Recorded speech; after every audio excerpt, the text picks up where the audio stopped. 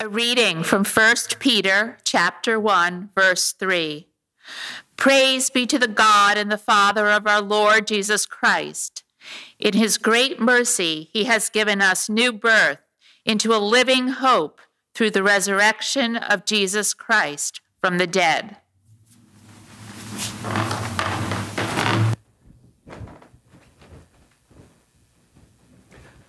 Thanks, Chris. Appreciate that reading very much. And welcome to those of you that are joining us here this morning. You're either on uh, WBCI 105.9 FM, uh, listening to us over the radio, or you may be also uh, viewing us through our website, which is available now. You can pick us up uh, and watch us.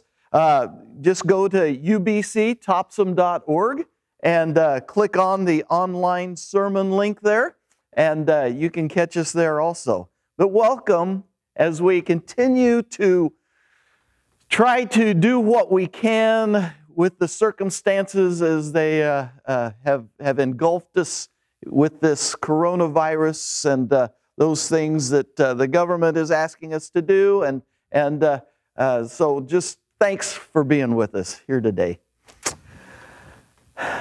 When friends come and visit us, when they come to visit Deb and I here in Maine, we like to show off the natural beauty of Maine.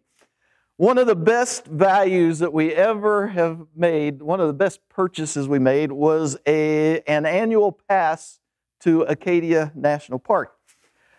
I cannot tell you how many times we have been up to Acadia taking friends and, and neighbors and, and everything. And on a per visit basis, we have made a wonderful purchase. and, and so, but we love to be able to take folks up and, and show them the sights and, and the stuff here in Maine.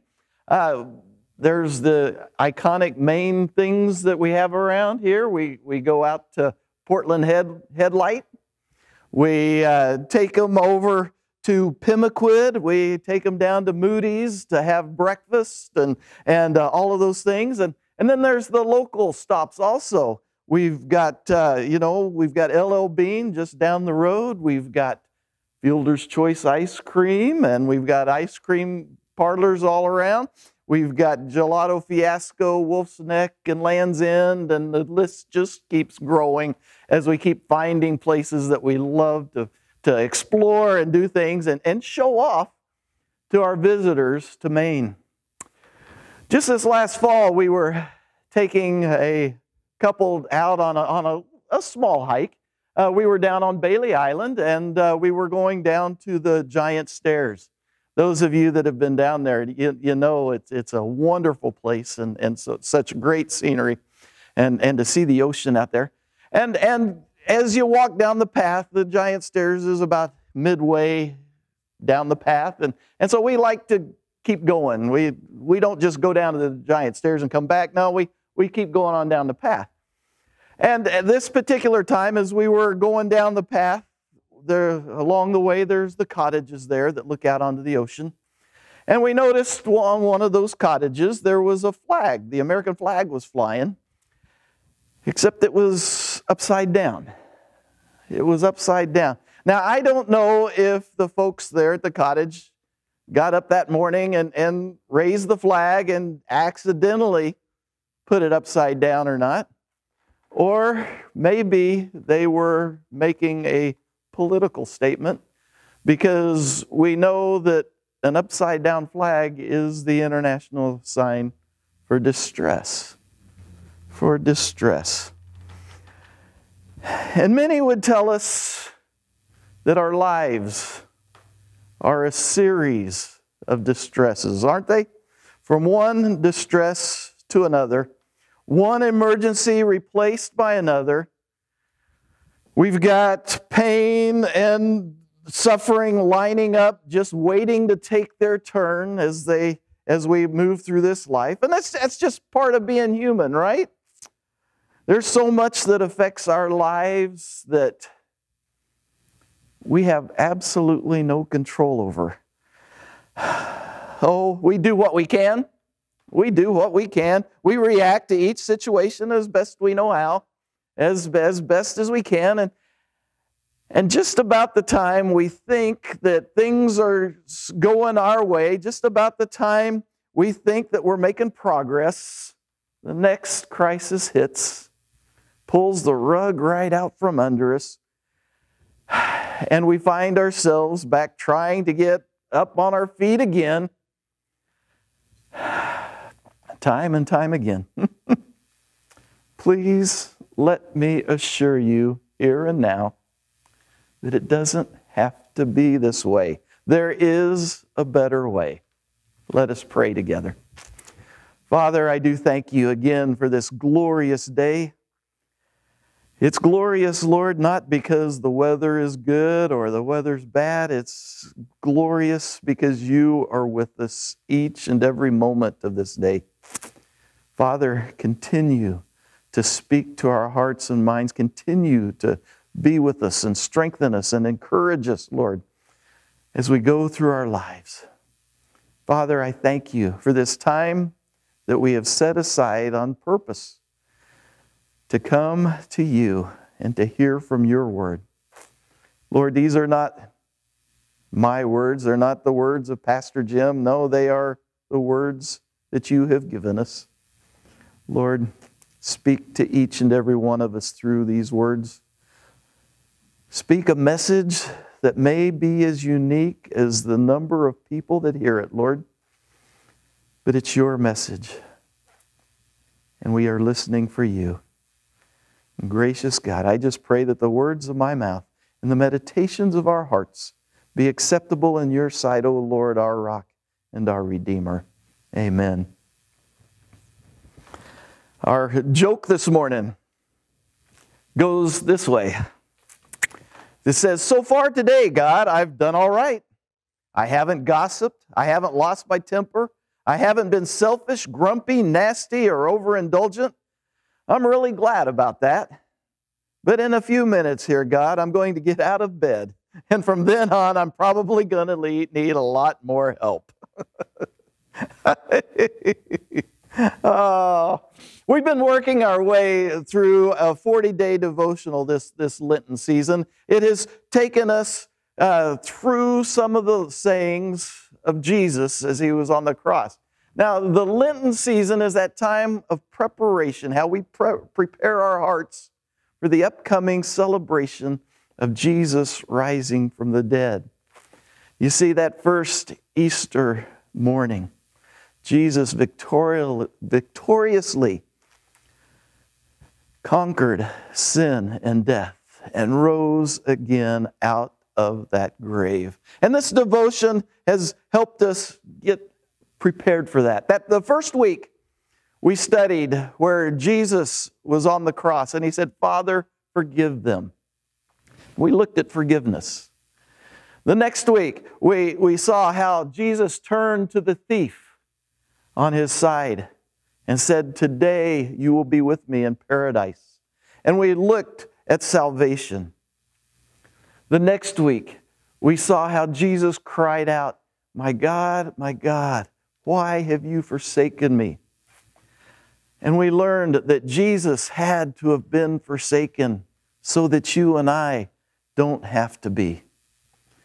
Last week, we took a look at compassion, how Jesus continues to show compassion on each and every one of us. And he displayed that compassion as he was there on the cross and he looked down upon his mother and he said, Woman, behold your son. As he was taking care of his mother, even in the midst of his situation, he was looking out for someone else. And here in week five of our Lenten season, we are looking at the verse that says, I thirst. Jesus said, I thirst. We are talking here about distress. And here we get another verification of Jesus' own humanity. Yes, he was God incarnate. Incarnate, now that's a big $10 word, isn't it? Ah, incarnate means that Jesus was fully God and fully man in the flesh. Jesus was not some kind of ghost or spirit. He wasn't a figment of someone's imagination. John 1:14 tells us the word became flesh and made his dwelling among us. So we would think that this flesh that's fully God and fully man would have been special, right? But Isaiah tells us 53 2 he had no beauty or majesty to attract us to him, nothing in his appearance that we should desire him. So we are told that Jesus probably wasn't incredibly handsome. He wouldn't be the one that would stick out in a crowd. He was human. There was nothing in his appearance.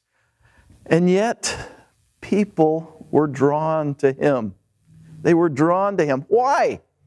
And I might suggest that Jesus had a way to let people know that he actually cared for them. We remember the world in Jesus' day. The Romans had control. They were large and they were in charge. And they didn't have a problem with displaying that they were in charge. And the people on the street, the average Joe, would look around and, and they were they were abused. They felt used. They, they, they felt like they were being oppressed by the Roman government. And then they would look at their religious leaders. Not much better. Not much better. Even they had their temple guard to maintain and reinforce the strict adherence to their rules and regulations. Every direction these folks would turn to seemed to lead to a dead end. So when Jesus came onto the scene, he had a different message. His message was of love, of mercy, and of grace. It was so different from what they were hearing from anywhere else. And people wanted to hear more, they wanted to see more. The news of Jesus' miracles traveled like wildfire. The lame walked, the blind could see, the deaf could hear.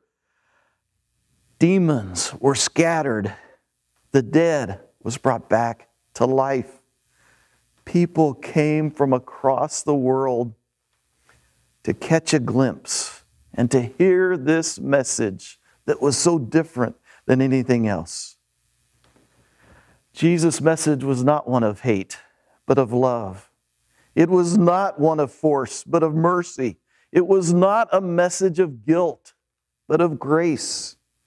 Jesus' message was of a personal God that loves everyone, not a God that was looking to punish when, when we do the slightest thing wrong. And Jesus not only spoke of this love, mercy, and grace, he lived them out each and every day. People witnessed what Jesus was doing. And that is what drew people to him. And the message of Jesus is the same today. It applies today just as it did back then. Too often, I hear of folks trying to describe God and their description kind of goes something along the lines of God is this old, long haired man with a long white beard sitting up in the clouds above us somewhere with a big hammer in his hand. a big hammer and this scowl on his face, just waiting for one of us to goof up, just waiting for one of us to, to make a mistake and when it does, he gets this big smile on his face and he whacks them with that hammer. Oh my goodness. Let me assure you this day that there is nothing further from the truth. We realize that God loves us, He wants the very best for us. He even provided the way for us to return to Him. We remember when man was created, Adam and Eve. They were created for fellowship with God, that personal relationship. They would walk in the garden with God, they would walk and talk with Him. Adam and Eve put a division between them and God when they were disobedient. And in their hearts, they wanted to be like God. And so we remember as they took the fruit from the tree, that outside evidence of what had already happened on the inside, sin was created. And that was that division between man and God. But God has bridged the gap. He loves us so much that He has provided the way to get back to Him. Hebrews 2 14 and 15 say, it says, Since the children have flesh and blood, He too shared in their humanity, so that by His death He might destroy him who holds the power of death, that is, the devil, and free those who all their lives were held in slavery by their fear of of death. Jesus left the realms of glory, the realms of heaven, to come to earth, to save us from our sin, to make a way available for us to return to God. Jesus loves us that much. That love is unconditional. That love isn't based on anything that we can do or say. He loves us just the way we are. And He wants the best for us. He doesn't want us to stay in that sin situation. He wants us to return to Him. How much does He love us? Romans 8 35 and 37 say, Who shall separate us from the love of Christ? Shall trouble or hardship or persecution or famine or nakedness or danger or sword? No. In all these things, we are more than conquerors through him who loved us.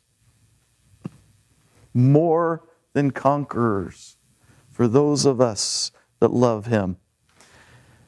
Even today, in the middle of our trials, we can turn to Jesus for our comfort and our strength. The scripture that Chris read for us just a moment ago gives us the answer because he died for us, for you and for me. Makes a change in our lives. And it uh, can also make a change in the word of our theme for this week distress. You see, Jesus can take the I out of distress and replace it with an E. To change the word from distress to de-stress. As He walks with us through all of our life's trials, we need not to stress about what we need to do, but we need to rely on Him and Him alone. He will see us through. He will be with us each and every step of the way, closer than a brother, closer than a friend. He loves you with his entire being, for he is love. And with that love with us, we not, need not be worried, stressed. With him, we can be de stressed. Let us pray. Father, again, I thank you for your message to us here today. Father, continue to speak to us. Continue your presence with us.